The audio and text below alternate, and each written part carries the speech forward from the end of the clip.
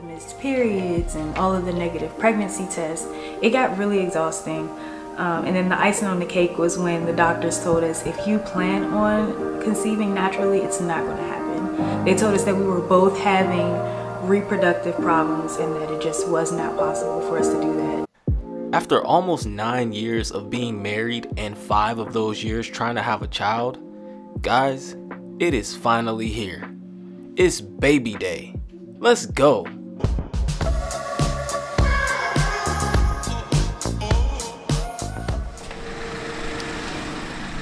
It's day one.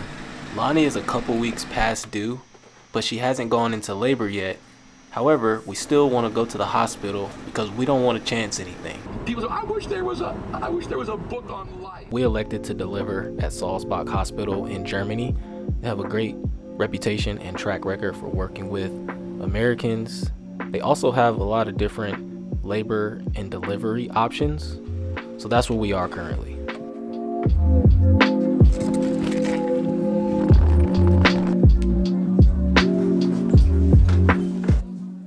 We got to our family room, they didn't waste any time.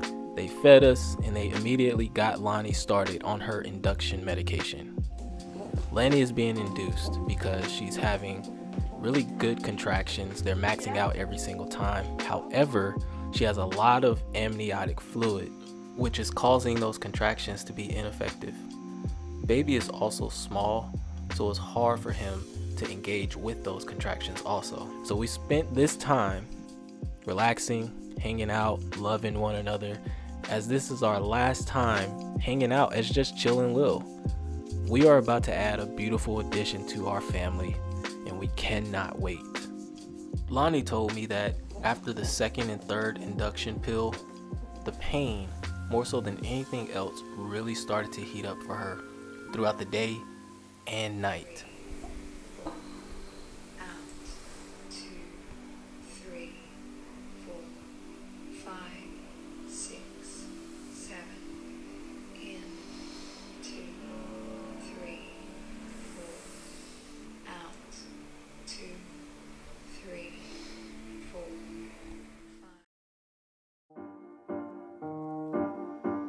Day 2 Although last night was really rough for Lani, she woke up on this day with a new energy. She even told me that for the first time in a long time, she felt like herself again. She was confident that today is the day we will meet our son. She was right. Within a matter of hours, they were rushing her into the surgical room for an emergency C section curtain for her head okay. before they start with the operation. And when this curtain is made up, I pick you in and you can sit there with the monitoring is okay? Okay, so is the baby going to be taken somewhere else or are they going to put her on? The baby comes out and get to me and I will then check. Uh-huh. Everything's fine. Uh-huh. After one minute, can maybe come to wife on breast. Okay. After five minutes, leave operation room inside it's cold go in the living room, baby get if you want so, skin to skin to you, and you can have bonding with okay. baby, okay? Awesome. So I go in and I pick you. Okay, thank you.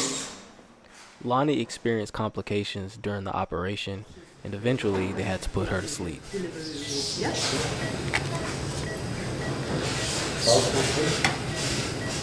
Wow.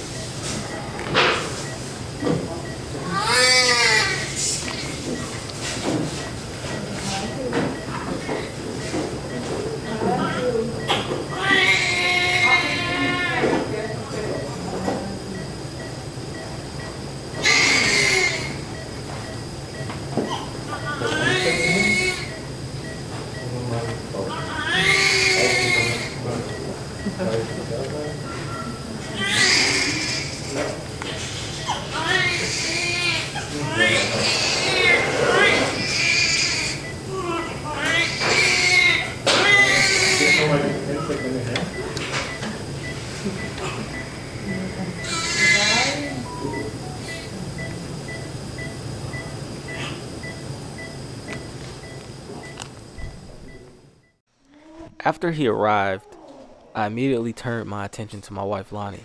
I asked the doctors and midwives several times, what's going on because she was still on the operating table. When is she going to get up? When is she going to be able to see her son? Oh my goodness.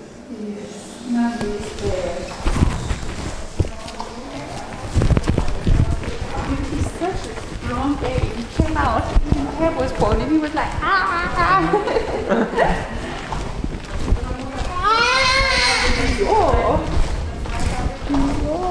okay, John. It's okay. You can dress again in your normal clothes and then go out on the other door. They will wait. Okay, where am I? Here in. Then to the other door out. Technically, this is my first time laying eyes on him because I was so concerned about my wife, Lani.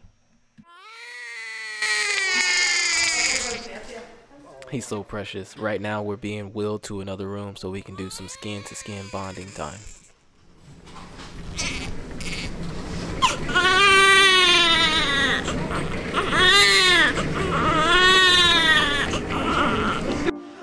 We did skin to skin for close to two hours, which was perfect for our situation because the doctors and midwives told me that Lani will be asleep for close to two hours.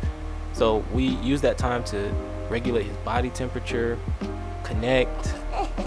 Oh, don't cry. There's really only one thing to do now.